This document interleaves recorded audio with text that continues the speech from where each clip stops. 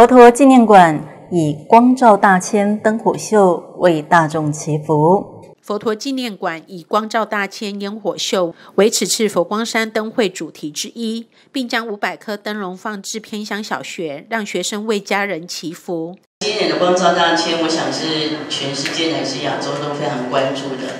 那我们今年呢是三百秒的烟花配上剧情。那我们今年的特色呢，我们一改往年的灯光的一个内容，那更。因为今年韩市长的姻缘哈，所以我们把五千颗灯笼呢放到所有的偏乡跟所有的学校，五千个孩子呢，高雄市的孩子以及屏东市的孩子呢，来画灯笼，在佛前呢为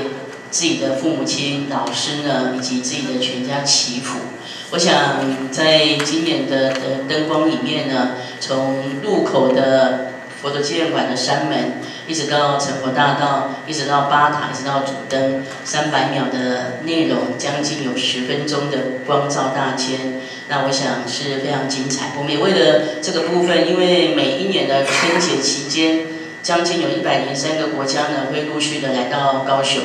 所以我们为了今年特别做了一个手机版的英文版，那把所有的精彩的节目呢都放在手机里面。在佛陀纪念馆欣赏光照大千烟火后，可以一路提灯行经藏经楼到佛光山大雄宝殿参加上灯法会，祈求一年的平安幸福。全山更摆设了各式精彩的主题花灯，民众在赏游花灯之余，除了享有灯海无尽、心灯相续的幸福法乐，也点亮内心慈悲智慧的心灯。十方新闻黄慧如、黄凯杰高雄采访报道。